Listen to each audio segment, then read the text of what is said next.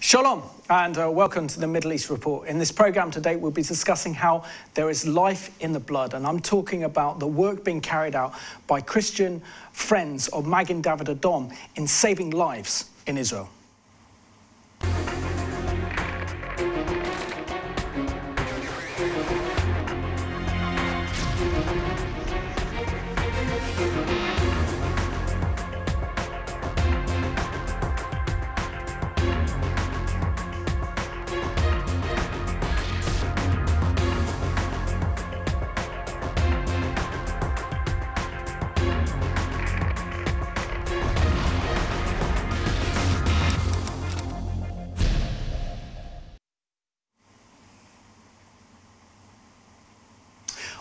Welcome to the programme. And I have two guests today, um, all the way from London. My first guest is uh, Barbara Dingle, um, who's here on behalf of Christian Friends of Magen David Adom. So welcome back to the programme, Barbara. Thank you for having me, and thank you very much for your support for Magen David Adom. It's a pleasure. I love doing this programme. And I'm also joined by uh, Dr. Laura Richardson, who many of you, our viewers, will, will know very well from the various programmes she does. So thank you very much for coming on the programme, because you were part of uh, the Revelation TV tour of Israel and Jordan. And I don't know where we'd be without your help, particularly looking after some of our, our, our sick viewers and looking after them so well. So thank you so much for being on the programme. Pleasure to be here. Um, Laura, uh, sorry, Barbara, can you just describe a little bit about um, how you got involved with the work of Christian Friends of Magen David Adom and, and the difference it's making to the Jewish community here, but also in saving lives? And we have to, we have to really say that CFMDA is essentially Israel's ambulance service and Israel's main emergency service. That's right. Um, it's an interesting story. I work for a Jewish family office in central London, and it must have been about about 2006 when uh, Christian Friends of MDA was was founded by a group of Christians in the north of England during the Second Lebanon War as a very practical way to support Israel at that time. Uh, the people I work for are very generous Jewish people, and they were donating an ambulance at that time. And I just thought this is amazing. People giving an ambulance to the state of Israel. And there was a dedication service for it. Usually, when there's a dedication, people go to an MDA station, but my guys are particularly busy. So I was involved with the logistics of getting the ambulance to them, which happened to be um, Hebrew University on Mount Scopus. So I had a lot of interaction with the then chief executive, um, a dear man, Eli Benson, who sadly passed away recently. Um, I just thought this is amazing. And then shortly afterwards, I was in Israel and I ran into uh, Natalie Blackham, who, you know, um, and she was working for CFMDA in Israel. And I said, Oh, I'm involved in London. She said we could do with some more support. Um, that's how I got involved. Fabulous. And um, Laura, you've been very much involved in this channel for a long time, so it's great to have you on, on the program. But you have a, an incredible passion for Israel and a love for the Jewish people, and you know I saw that on the tour at first hand. So share with us how the Lord's really placed a, a real love of Israel and the Jewish people upon your heart. Well, I think it started with my mother. I have to give her credit for this, really, because um, she went to Israel for the first time in 1994.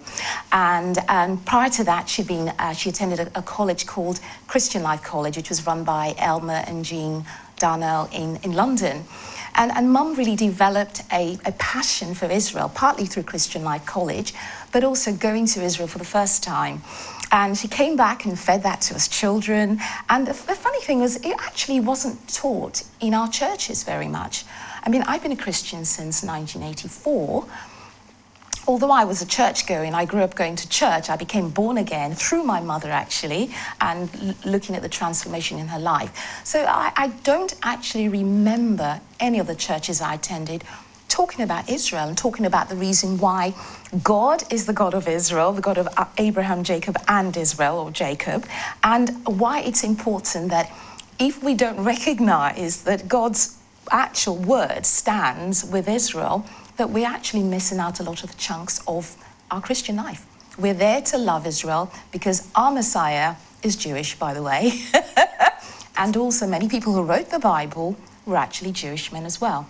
So I've been to Israel more times than I can think of now, and it's uh, each time I go back, there's a different experience. This time we went to Rosh Hanikra caves, and that was fascinating. I've been going for quite a few years and never been there, so there's always so much to see. And I think as a Christian, we cannot avoid the issue of Israel. Absolutely. And um, Barbara, this is a special year for Christian Friends of Magen David Adom, uh, and you've described it as being your bar mitzvah celebration That's year, right. which is your 13th anniversary. Um, can you share with us sort of, the program you have and how special this year is for Christian Friends of Magen David Adom? Yes, um, we look back on 13 years.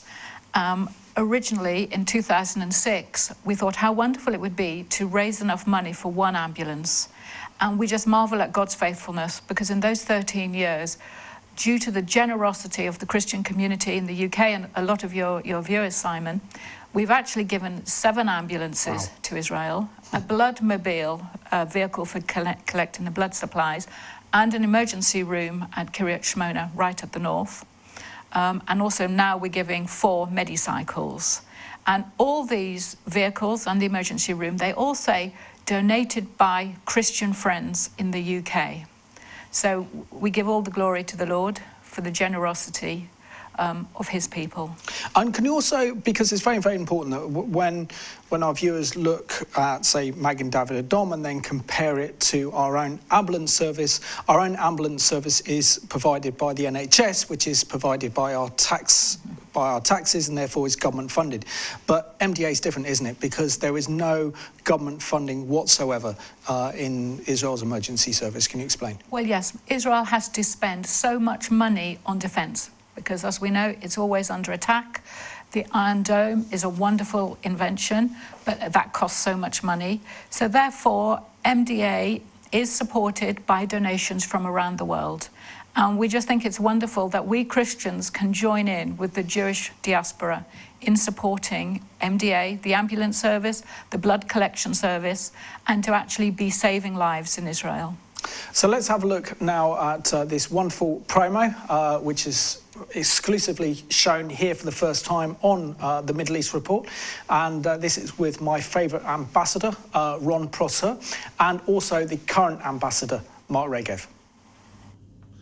I'm happy to support Christian Friends of MDA. This organization is doing wonders to help Israel's emergency medical services, Magen David Adom. I've been following your work for years and have always been impressed with your commitment, passion, and dedication. There's an old Jewish saying, he who saves one soul saves the entire world. Christian Friends of MDA help save many, many lives every year, and by supporting this organization, it's as if you're doing it yourselves. Friends, MDA does crucial work. MDA does important work. MDA does life saving work. I know this from firsthand because my son, for many years during his high school, was an MDA volunteer manning their ambulances, being part of their emergency services.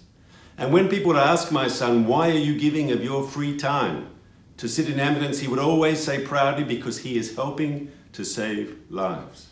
And all of you who are part of MDA's important work can feel the same pride. You are being part of an important effort that is saving lives. So, to each and every one of you who is part of Christian Friends of MDA, I say thank you for the important contribution you're making to save lives in Israel. Thank you. Toda Rabah.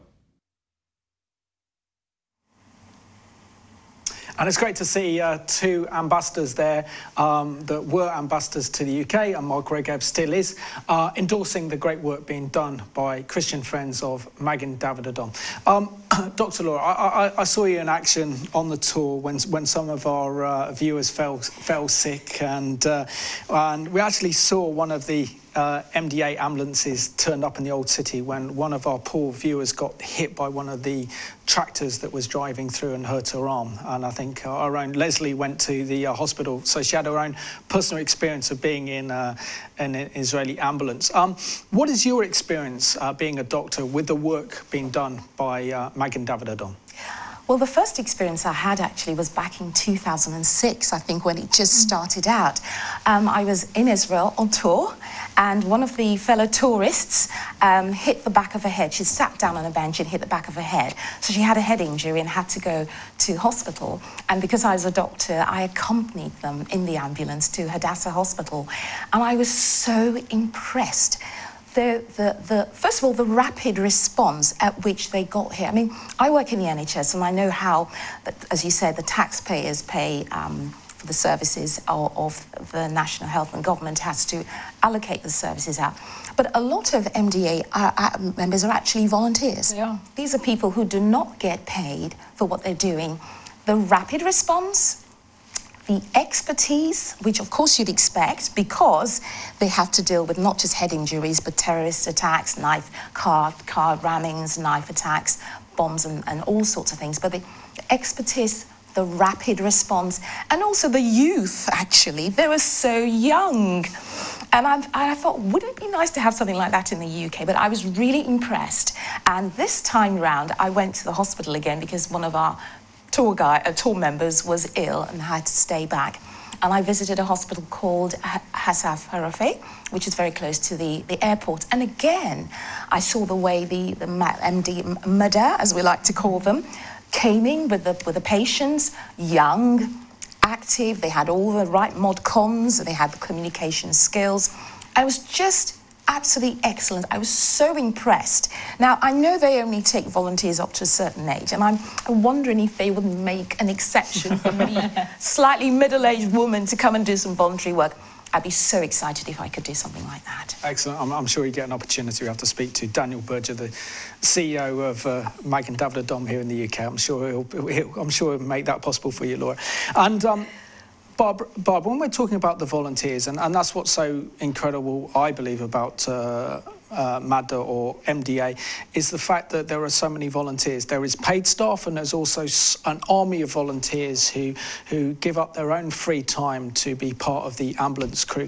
For some of the ambulance crew, uh, what is it like when they know that an ambulance has been donated, say, by the by um, the incredible generosity of the supporters of Christian Friends of Magen David Adom, and know that there is so much Christian support for Israel and the Jewish people, particularly when they see an ambulance with, with your name on it.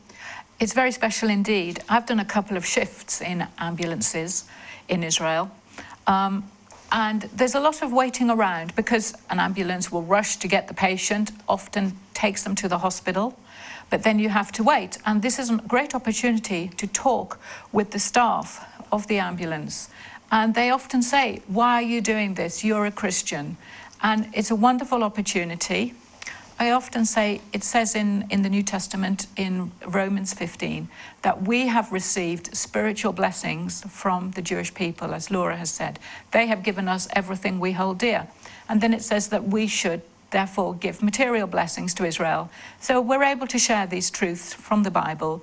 We're able to say to the Jewish people that they're not alone, that we stand with Israel. And of course, we have good conversations with the Arabs who also are involved with MADA. Absolutely. So let's have a look now at this uh, wonderful video, which shows how so many different foreign volunteers come and donate their time and their summers to be part of the work of Magen David Adom. Hello, have I reached Magen David Adom? Magen David Daniel. Magen David Adom in Israel is the Israeli National Emergency Medical Services in charge of all the pre-hospital ambulance services, blood banking.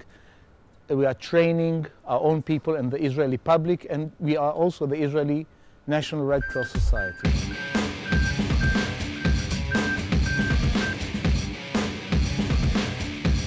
One of the programs that we are promoting over the last 12 years is the Magen David Overseas Volunteers Program.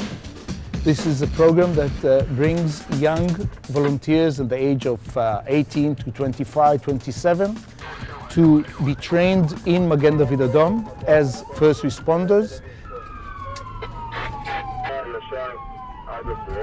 We train from everything to amputations to emergency births, CPR, everything, IVs, which was fun. It's a, a wonderful program, Marahul, and I love coming back because I have lots of friends in the stations and it feels like every day when I go on a shift I make a difference in someone's life.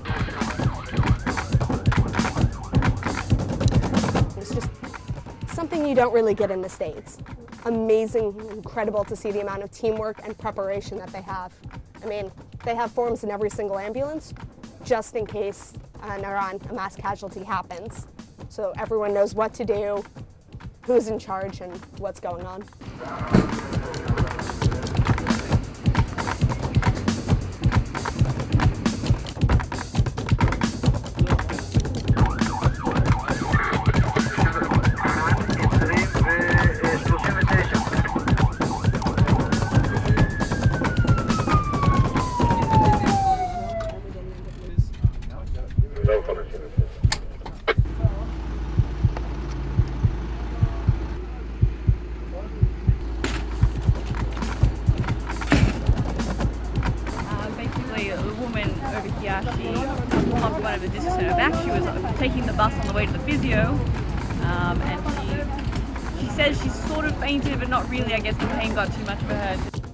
Hold someone's hand and the smile that you get, that's good for a lifetime.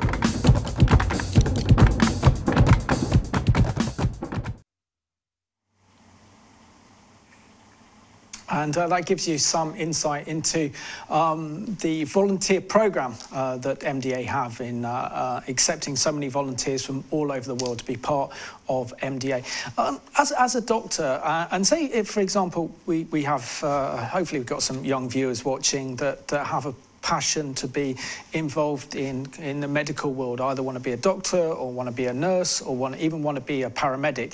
Um, if they volunteered as part of MDA, what do you think that would give them in terms of their career prospects um, and what kind of insight would they have being part of MDA in Israel? I think Israel is one of the top countries for uh, response to emergency situations, whether it's uh, terrorist attacks, uh, natural disasters, and you'll find that wherever there's a, a, a disaster, even another part of the world, you'll find Israeli teams going there. So, you know, Ebola in Sierra Leone and the, the Thai cave um, boys, and, and wherever you find disaster, you'll find a team of highly trained people from Israel going to those places. And as Barbara said, Israel is constantly under attack. So they have to be highly, highly trained all the time. And even the young people that go into the IDF get that training. And so they are so qualified to help other people around the world.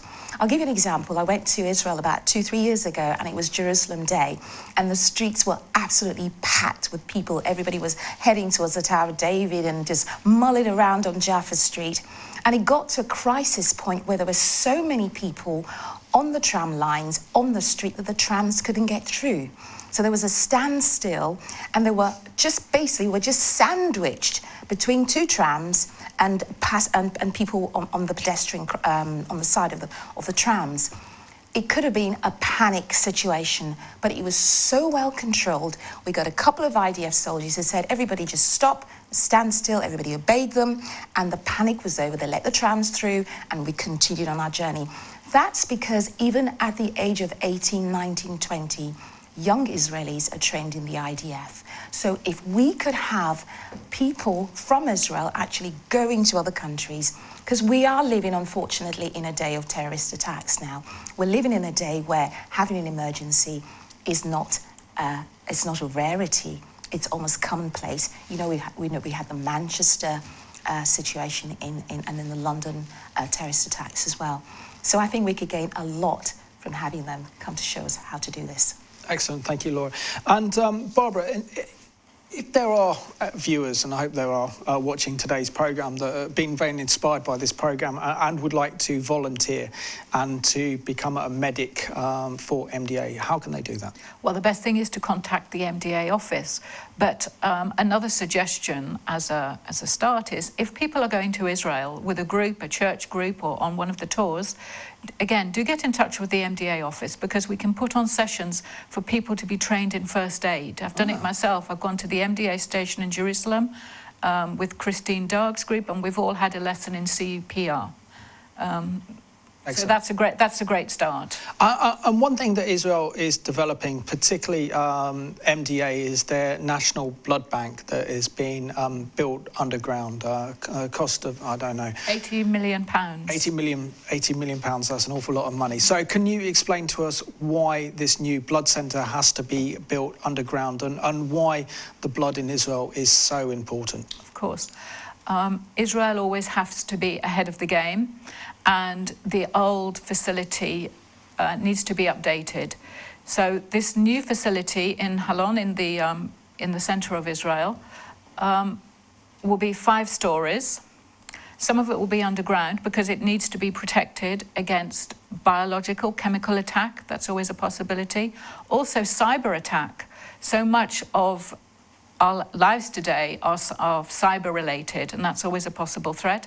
Also, natural disasters. We know Israel is in an earthquake region. So, for many reasons, this new facility will be better protected than the old one. And like all countries, but especially in Israel, blood supplies are always required.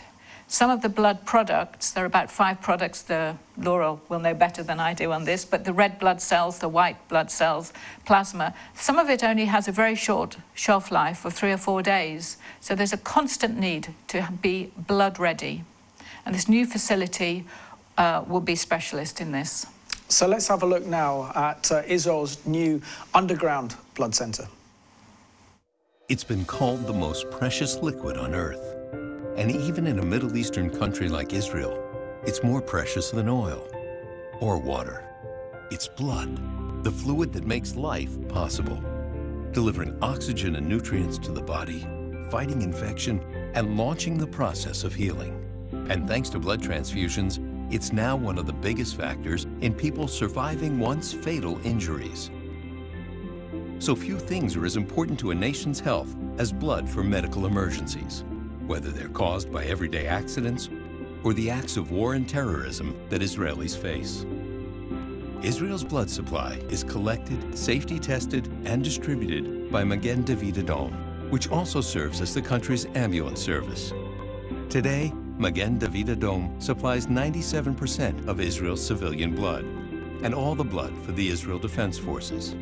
Magen David Adom's current blood center was built in 1987 when Israel needed to collect 175,000 units of blood to meet the needs of 4.4 million people. Just a few years later, however, the world order changed, reshaping the face of Israel. The Iron Curtain that prevented Jews from leaving the Soviet Union fell, enabling more than a million Russians to come to Israel, swelling the nation's population and stretching medical resources, including the blood supply. Today, Israel's population has surpassed 8.5 million people, and MDA needs to collect nearly 400,000 units of blood to meet demand, more than twice what it needed when the blood center was first built. By 2030, Israel's population is expected to reach 10 million, which will require more than half a million blood units. Israel needs a larger blood center and a larger facility to house Magen David Adom's growing cord blood program where stem cells are stored for cutting-edge medical treatments around the world. But building a bigger blood center doesn't by itself address Israel's needs, and that became abundantly clear in November 2012. Israel's most belligerent enemies, Hezbollah Lebanon and Hamas in the Gaza Strip, previously didn't have rockets sophisticated enough to reach Magen David Adom's blood center near Tel Aviv. But the Gaza rocket crisis of 2012 and the second war with Hamas in 2014 were game changers. Now Israel's enemies, both to the north and south, can hit any part of Israel, leaving millions of Israelis and the blood supply vulnerable. That's why Magen David Adom's new Marcus Blood Center will not only have a larger processing capacity, it will be secure from attack, reinforced with its most crucial services, such as blood processing and storage, underground and out of harm's way. This will ensure that Israeli civilians and soldiers have blood when they need it most. And it will enable the Blood Center to continue to operate in the midst of a crisis to meet the needs of the country and ensure the survival of Israelis. To make this new blood center a reality, it's up to us. All of us.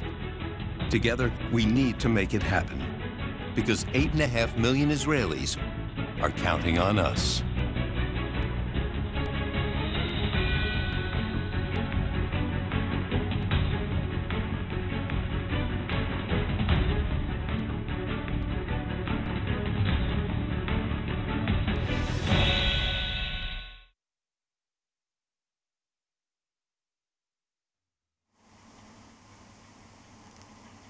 As you can see there, that uh, Israel's uh, National Blood Center is so important for the future survival of the state. Uh, and Laura, when we look at Israel's security situation, up in Hezbollah, there's something like 160 to 180,000 rockets and missiles that are targeting every Israeli city and town. Um, if we look at the situation in Syria, we have 80,000 troops and militias under Iran's control, only 50 miles from Israel's border. We look at the situation in Gaza, which um, Hamas could fire and launch its rockets and missiles into Israel at any time. And then you have the instability of the Palestinian Authority that, that could um, launch attacks against Israel. So, not also not discussing the Iranian threat, nuclear threat uh, as well. So what Israel has to face is pretty much unprecedented uh, in comparison to any other Western nation. Um, is that what makes Israel so incredible that they can see the threats coming and they prepare for them in advance? So, building this new blood center and having their blood bank underground to protect that vital supply of blood needed in case any emergencies. What does that say about the Israelis to you? Well, first of all, it tells me that there is a God, the God of Israel, who gives them the wisdom, the ingenuity, the ability to put this all together. God, and God doesn't lie, He keeps His word. So that's the first thing. That's what gives me hope for my personal life that God keeps His word. So Israel has been shown over and over again to have the skills, the ingenuity, the new, the lots of startups that are, that are coming up because people are coming with these witty ideas. It gives me the confidence to know that God is in control and God will keep his word. But also, I think I would love people to be humble and to say, this nation has been under attack, as you've mentioned the statistics, from, and they're still standing. So let's learn from them. Let's find out how they do things.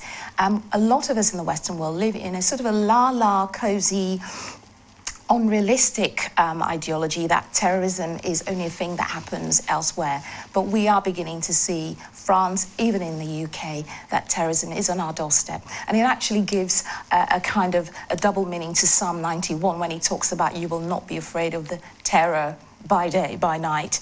We are in a, we're in a world where terrorism is actually a daily occurrence. And I think we would learn a lot medical services in, in the NHS by actually going to Israel and saying, how do you do this? How do you preempt? Because it's not just about reacting. Absolutely. Unfortunately, a lot of us react to situations. We only react when something's happened. We need to get a state where we're actually preempting what the enemy will or could do and actually saying we're going to build services and we're going to protect ourselves to preempt what they're about to do. Uh, uh, uh Barbara, we, we're very proud of our, of our NHS in this country. We're very proud of our doctors like uh, Laura and uh, our nurses and uh, paramedics that do a tremendous job in saving lives on a daily basis in this country. But what do you think our own medical services can learn from Israel's experience, so particularly now that in recent years that, that uh, Britain's faced um, its own terror attacks, uh, for example, the, the, Westminster Bridge attack, and then followed by the London Bridge attack, um, and also the horrendous suicide bombing that we saw at Manchester Arena, to deal with a kind of mass casualty terror attack. What do you think that our own medical services can learn from Israel's experiences? Okay. Well, first of all, living in the UK, I'm very grateful for the National Health Service. I'm grateful to God that uh, we are safe here, that we can be, be treated. Um, but I think we can also learn a lot from Israel.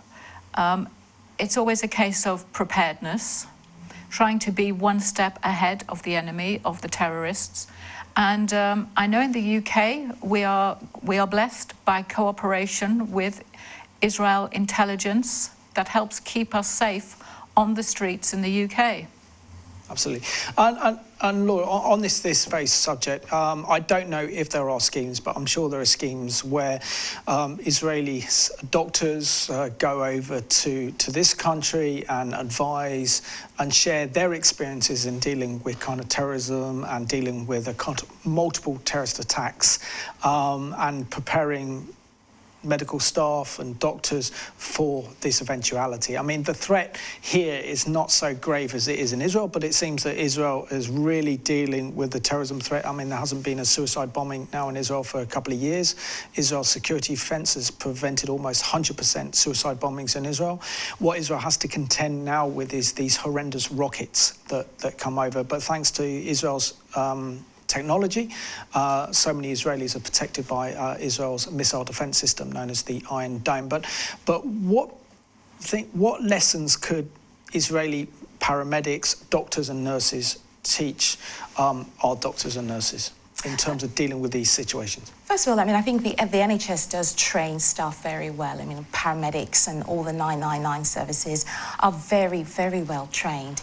But I think, again, it's the thing about, yes, we know how to deal with road traffic, road traffic accidents, heart attacks, you know, people jumping off and breaking bones and that sort of thing. But I think the element of terrorism is probably not as well prepared in the UK. And I would like to see people like Jeremy Hunt, who's currently the health secretary, actually liaise. Foreign Secretary, sorry. Sorry, I've got the wrong. Foreign Secretary. Oh, it's a foreign secretary now. He used to be um, Yes, he did. health, health secretary. Oh dear. Um, but people, whoever the health, who's the health secretary now? I can't. I don't know. but anyway, whoever the health secretary is, to actually use because we pay tax. We, we are taxpayers and we pay our taxes to the government to keep the NHS England going. I would like to see them actually, as Barbara says, liaising with people in Israel and saying, how do you do this and how do you do it well? But on a personal level, I am, am actually a supporter of uh, CFMDA, and I would like to encourage people, whether you're a medic or not, to actually support them because you can see the fruit. And we actually don't know when we're going to need. We travel to Israel all the time. You don't know when you're going to need a blood transfusion or help from the MDA. And as we see, they're always there, always, always there. So, and, and I'd also like to see more volunteers in the NHS. I mean, the, the um, is run a lot by volunteers. I'd like to see people who are unemployed, who may be waiting for jobs, actually be trained up to help the emergency services in the UK, and they can learn a lot from Israel about how to do this. absolutely. Uh, uh, and Barbara, I just want to share about the di- the cultural diversity of MDA in Israel and the fact that you know we, we have a real example of um, uh, Jews and Arabs uh, working together on shifts and ambulance shifts. Um, what does that say about the organisation that doesn't discriminate against uh, Jews or Arabs and has many Jews and Arabs actually working in uh, in Magen? Well, of course, it's a wonderful example, maybe one of the prime examples, of the argument against apartheid. Um, on any given ambulance, you'll, you might have an Israeli Arab, you might have a, a religious Jewish person, you might have a secular Jew, you might have someone from one of the other minorities, the Druze or perhaps the Bedouins. And you know, if somebody has had a heart attack, a Jewish person, say, has had a heart attack, an ambulance turns up and it's an Arab paramedic, who cares? They're just really grateful to have a medical professional to treat them. So MDA helps break down barriers.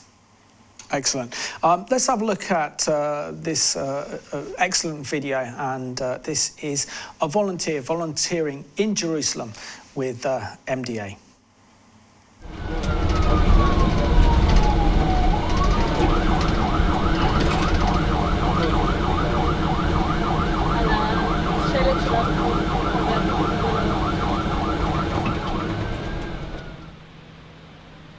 My name is Chagai.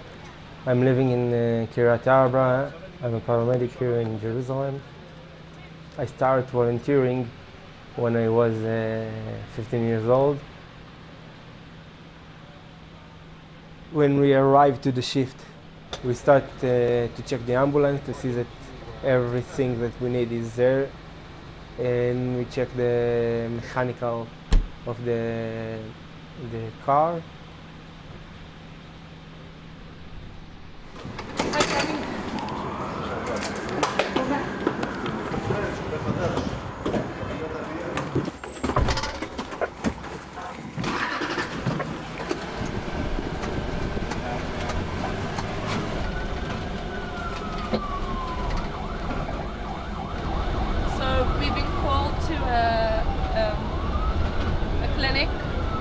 where they have a gentleman, I think a gentleman, who they suspect is going through a heart attack.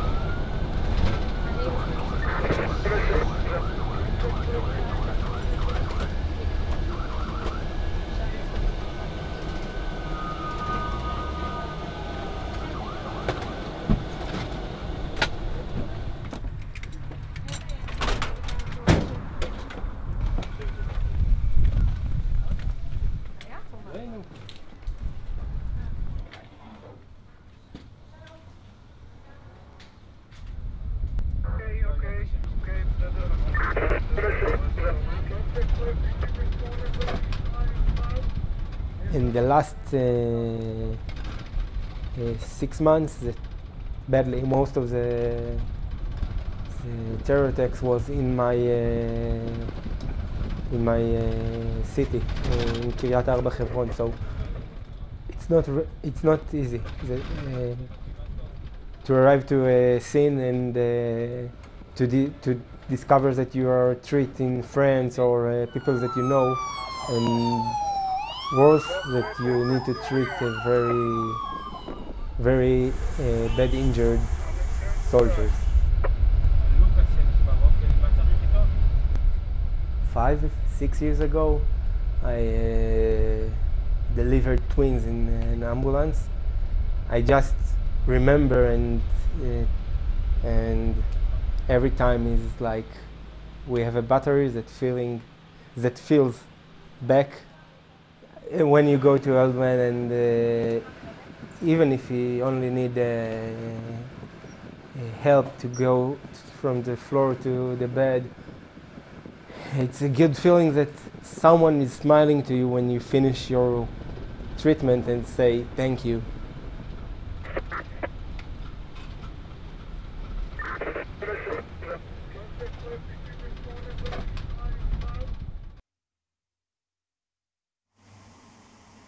And that gives us a little bit of an insight into what it must be like uh, being an ambulance driver uh, in Israel, uh, serving with uh, MDA.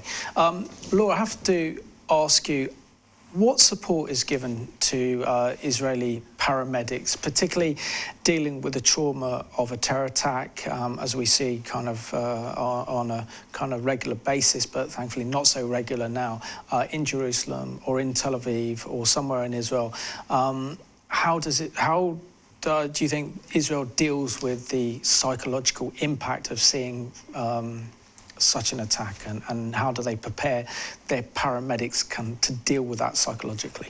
I think it's very difficult um, because the confrontation of blood and you know limbs and people dying and you not being able to save somebody at the roadside it, it, can be and it is very devastating. But i think one of the things about going into that sort of service is that people are screened at the beginning psychologically to make sure that they can withstand the trauma but also that they've got coping mechanisms in place and that they have a good service for psychologically. And you, and you will see this over and over again when you have a report of disaster. There will always be counselling services to support the victims but also the people who are involved in first response. And I think a lot of people who go into first response have the personality to deal with that. They have a lot of adrenaline. I mean, there's of people who will deal very, very rapidly because they're, they're, they're basically programmed that way. I think it's very important that people do use the services that are provided. They do have counselling services to deal with the after effects, post-traumatic stress disorder and the like. Um, personally, I see a lot of uh, 999 uh, people who've had to retire from the services because they can't take the ongoing psychological trauma of dealing with disaster over and over again. But hopefully, and I, and I believe in Israel, it's a much more cast iron process where they provide services for people. Excellent. Uh, and Barbara, back in uh, 2014, after um, Israel's uh, defensive war against uh, Hamas, um, in Gaza, which Hamas were firing um, rockets and missiles into Israel, which paralyzed two thirds of Israel's population. And uh, also, we see that uh, Hamas were responsible for the murder of three uh, Orthodox teenagers as well, um, which, which resulted in Israel having no other choice but to send ground troops into Gaza. And it was in the aftermath of that that I interviewed um, one of Israel's paramedics who was over here in this country talking about the great work being carried out by MDA. And what she said is that she had to deal with um, a, a, a, terrorist who's been responsible for a terror attack. Now, isn't this extraordinary that yeah, there are people, sadly, um, uh, Islamic terrorists who are determined to as kill as many Jewish and Israeli lives as possible, and yet we see Jewish MDA medics helping them uh, and uh, not discriminating against them. Um, what does that say about Israel's medical service? I think it says about Israel and about really Judaism, the sanctity of human life is so important that every life counts. We know as Christians all lives count to God. And this is part of the work of Mada. They will turn up, and whoever needs the treatment first, whoever's the most seriously wounded, whether that's the terrorist or the person that they're trying to attack, it is done in a sort of triage order. So um, we, we praise Israel for the sanctity of human life. And uh, Laura, one issue that uh, Israel's been dealing with in recent years is knife attacks. We've also seen a large number of disturbing knife attacks in uh, in this country as well, particularly in our capital, in London. Um, from Israel's experience, how does a paramedic deal with, with such an attack? Well, with, with first of all, they are trained in CPR. So if a patient is bleeding, they go through the ABC, airways, breathing, circulation, stop the breathing, make sure they are um, alert, and if they're not, they get the bleeding stopped and then they get carried into hospital. They might need to have an IV drip on the way as well. So they are trained. We, those who would respond are fully trained in what they're doing. But I think it's also important to deal with prevention as well. And I think one of the things that I found in Israel, especially when you go in shopping malls, is they have places where security, where they will check your bags.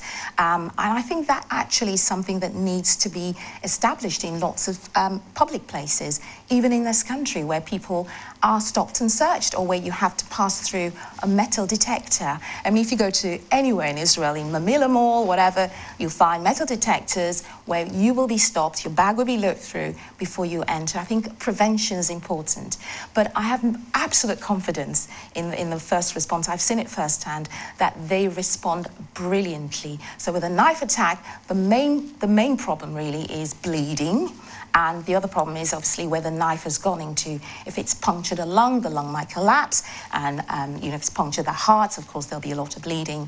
But they know what to do. They know how to stop the bleeding where it's necessary. And the important thing is to get the patient to hospital as soon as possible. You will find that sometimes they spend a lot of time on the ground actually stabilizing a patient. And you might see scenes where, where they do that. And that's also important to do because there's no point just rushing a patient to the hospital. If they're stabilized they're in a better condition to be treated when they go. And this is where when you see a mag and Magen David ambulance it's kitted with all the things necessary. It's almost like a mini hospital, actually.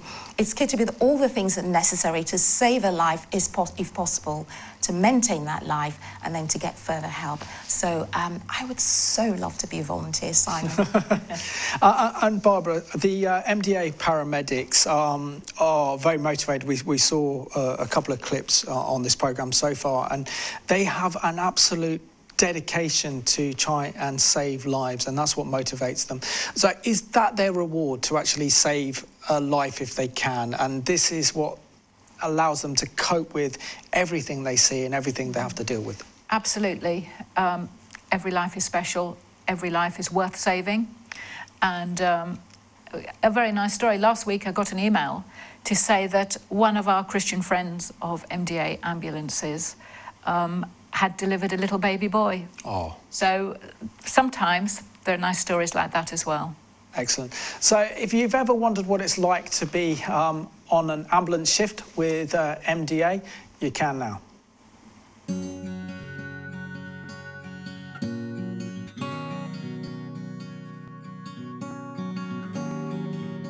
Hello everybody, today I'm doing a shift as a volunteer EMT on the, um, the Magen David Adom ambulance, uh, on the Natana ambulance. And um, so I thought I'd show you around the ambulance ambulance, let you see a little bit, and maybe share some stories if anything exciting. Okay, so this is the inside of the ambulance. You see over here we have all kinds of medications and gloves, different equipment. This is the thing that they use to restart people's hearts. And that's the bed.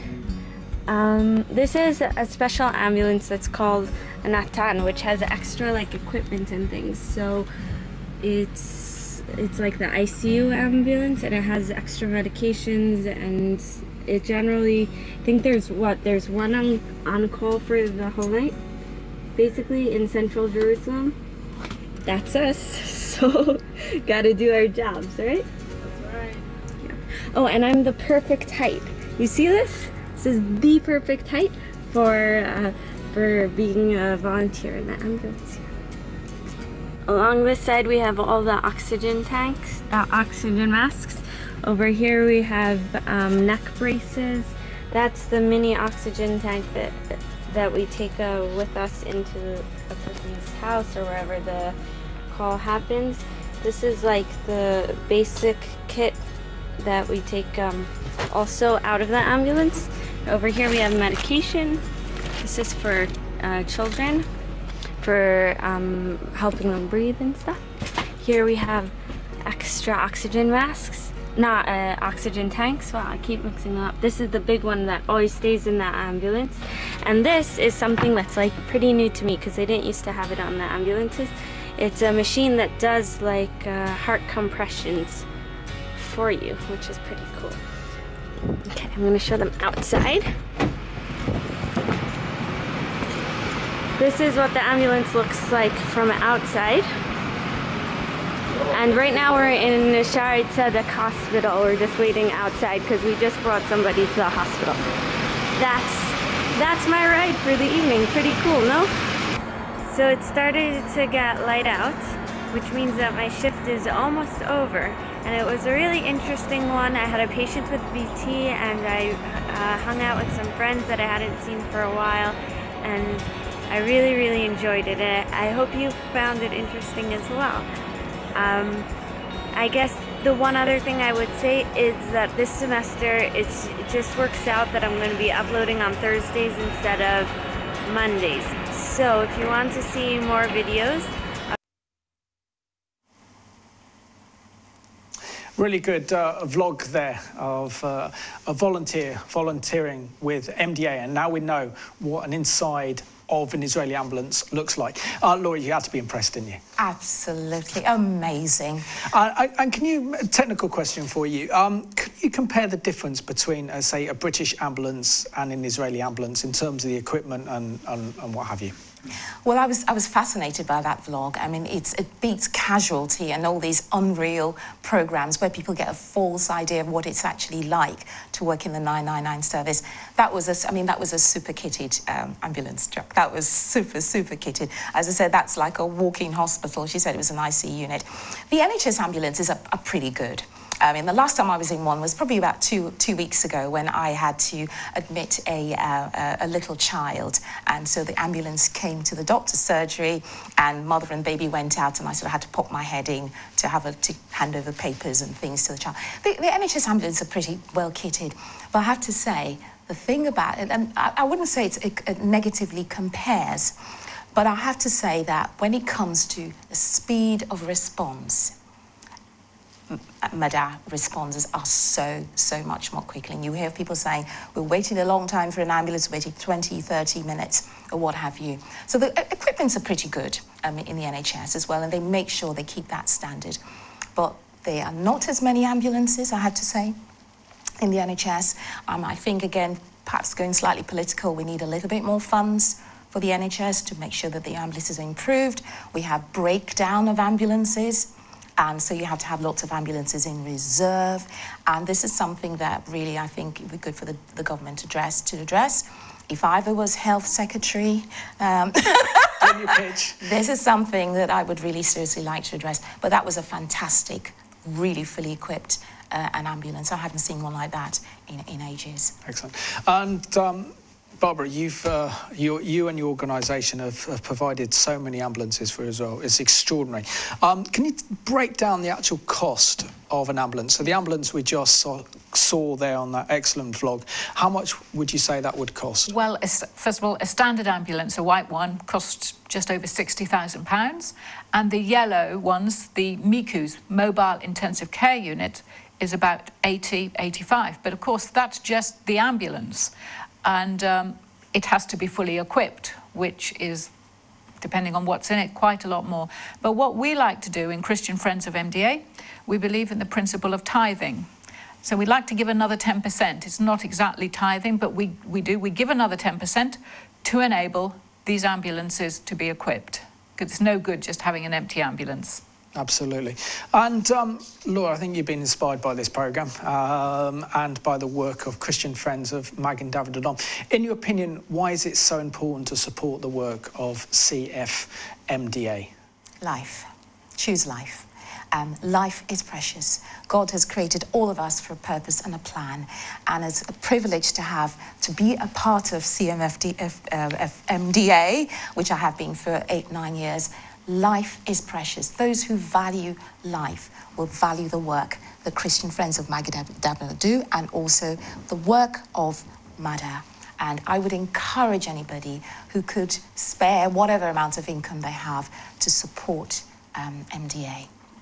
And um, Barbara, how can our viewers, uh, maybe if, if, you're a nurse or a doctor or a paramedic uh, and you do tremendous work but have a heart and a passion for Israel and the Jewish people, uh, get involved with the work of Christian Friends of Magen David Adom? Well, first of all, do contact us via the website. Um, anyone can get involved, though, not just people in the medical profession. So um, I know a lot of your viewers are in Israel prayer groups. So do pray for the work of MDA, that lives would be saved. Um, if anyone is in a church or fellowship and they would like a speaker, we've got an executive team that's around the country. Literally, we've got Jean Brannigan in Scotland down to Alan and Jane Ferguson in Jersey and people in between. And um, if anyone feels led to perhaps Christmas is on the horizon um, in a few months' time, if anyone perhaps wants to take up a collection for their Christmas offering, um, MDA's a very good cause. And um, down to the final minutes of the programme, uh, Laura, what, what makes MDA probably so unique is it's not political, is it? I mean, you can. This is a way of supporting Israel, um, supporting lives, both Jewish, Jews and Israel. Uh, sorry, Jews and Arabs living in Israel, um, without there being any kind of political bias uh, involved at all.